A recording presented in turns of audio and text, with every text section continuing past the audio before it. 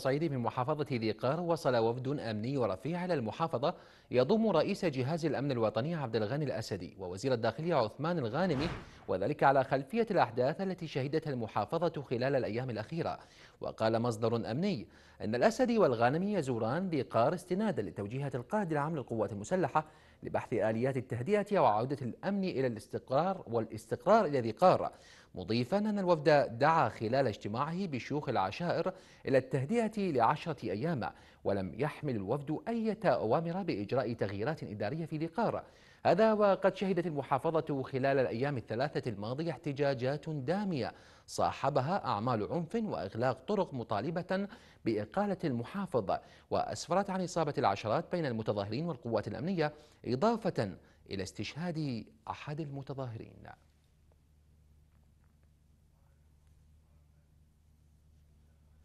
هذا وتشهد مدينة الناصرية هدوءا تاما بعد ثلاثة أيام من التظاهرات الدامية أسفرت عن إصابات بين صفوف القوات الأمنية والمتظاهرين وإعادة فتح جسري النصر والشهداء بعد إغلاقهما بسبب الأحداث. وقال مصدر أمني أن جميع المتظاهرين انسحبوا بعد تظاهرات حاشدة طالبوا فيها إقالة المحافظ ناظم الوائلي فيما أعيد فتح الطرق والجسور التي قطعت من قبلهم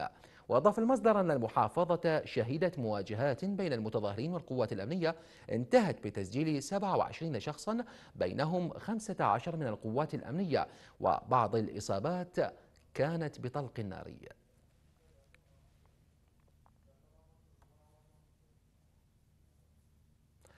كشف مصدر أمني عن تعرض شيخ عشار العبودة الشيخ حسين الخيون إلى محاولة اغتيال فاشلة في الشطرة. وقال المصدر أن عددا من المسلحين المجهولين حاولوا اغتيال الخيون فجر الخميس قبل فرارهم.